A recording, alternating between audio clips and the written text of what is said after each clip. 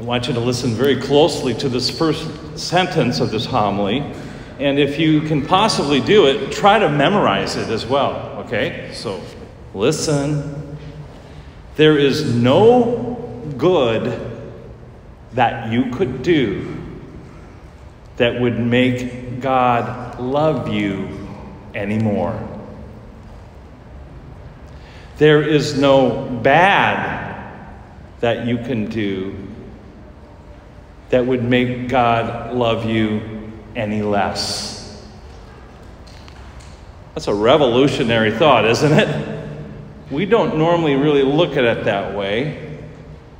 There is no good that you do. There's no good that, that you could do that would make God love you more. There's no bad that you could do that would make God love you less.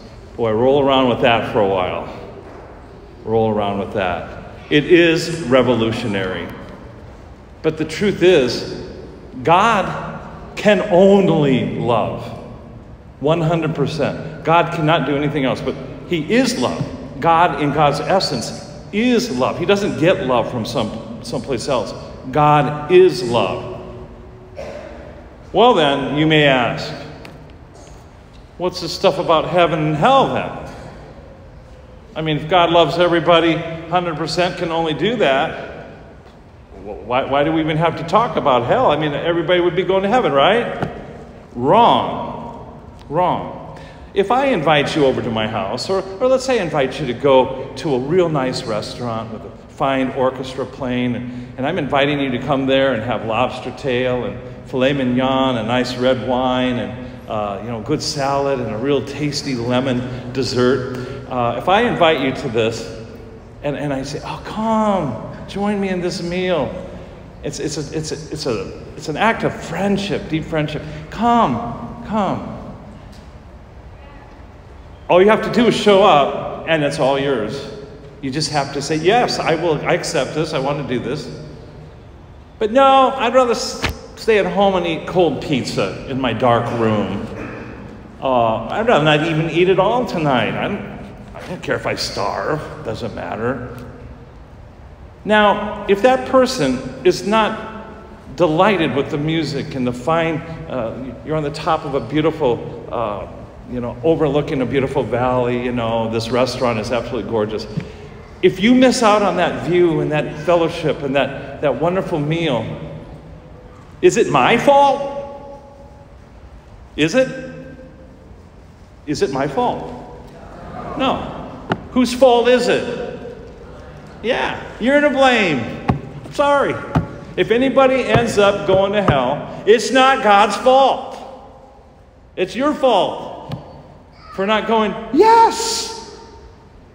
So, yeah, you still have the option. You remember the cup analogy one's turned down, one's turned up. The one turns away from sin towards God, the other turns away from God towards the life of sin and disobedience. God's always loving perfectly, but it's bouncing off the bottom of this cup, not going to happen. You got to turn toward Him to receive it. So it's all about our receptivity.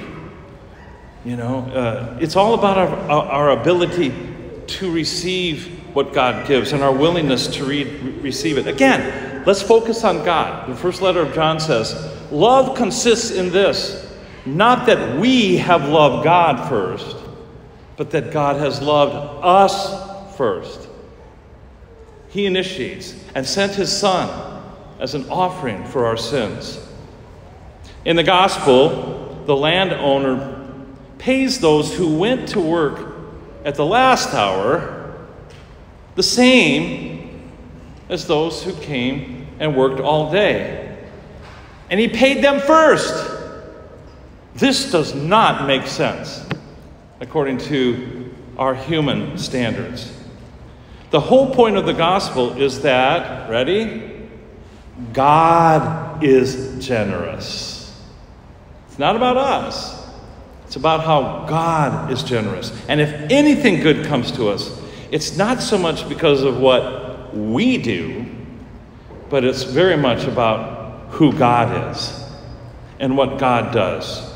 Thus, we confirm the first reading when God says, My thoughts are not your thoughts, and your ways are not my ways. As high as the heavens are above the earth, so high are my ways above your ways, and my thoughts above your thoughts. So here is one of the most comforting realities of all time God is love. And there's no good that you could do to make him more love, to love you more. There's no bad you could do that would make him love you less. Again, in summary, the gospel is not so much about what we do as much as it is about who God is. I just want to turn to the tabernacle and say, Glory to you, God.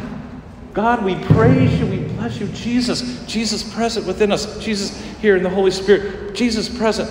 We love you. We adore you. We praise you. We glorify you.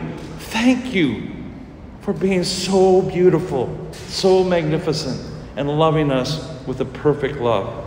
So I have a little question now. Here's a host. Okay, you're looking at a host. It's consecrated. You're going to receive it in Holy Communion. How, what percentage is Jesus present there? Would you say it's like 38%? Like how much of it is bread and how much, you know, whatever, you know? How much? Is he there 89%? Oh, good. Who said that? Way to go. 100%. He doesn't, he, he is 100% present. So think about these people who worked at the first hour and the last hour. He can only give 100%. He's not going to give any less. God gives his total self for us. When Christ gives himself, he gives 100% of himself all the time to everyone. Now, are we receiving it? That's the question. So, your assignment as you receive Jesus in Holy Communion today, whether that being coming forward or as you if you have to make a spiritual communion consciously to the best of your ability realize that he is there and consciously be 100% receptive to receiving him in every aspect of your life and so also do your best to give 100% of yourself to him with everything you have and are you will see me at Holy Communion. I, I, I often go like this, right? You know, what I'm, you know what I'm saying to the Lord? I've told you before, but I'm going to say again. Jesus, my God, I accept you into my body, into my mind, into my heart, into my soul, into my entire being. I, accept you. You're giving yourself to me 100%. And Jesus, to the best of my ability, I give back to you my body, my heart, my mind, my soul, everything that I have and am. I give it back to you. Try to pray that way. And hence, your communion will be truly holy.